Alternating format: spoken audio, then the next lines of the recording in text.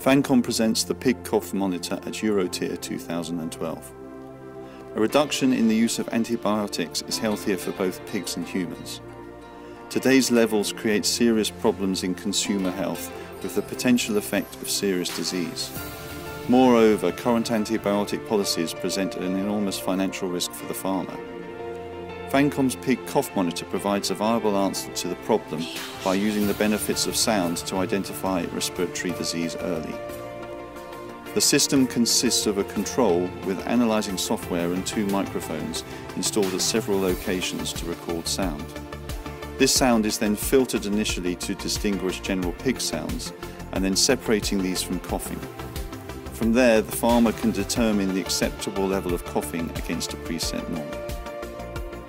Healthy animals will perform better, leading to more consistent growth, end weight and greater profit. At the same time, sick pigs still need to be treated with antibiotics, but improved and faster observation reduces the use of these for shorter periods to less animals. Apart from the obvious financial benefit, the system also gives veterinaries the ability to meet the challenge of continuously providing more detailed information about current threats. Not only can they consult in a quick and economic way, they can also compare the results of different farms and manage the threat of a wider spread infection within their region.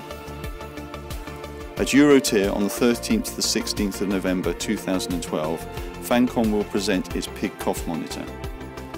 We are convinced the industry will continue to find new ways to improve the health and welfare of animals, and we believe our innovations are at the forefront of this.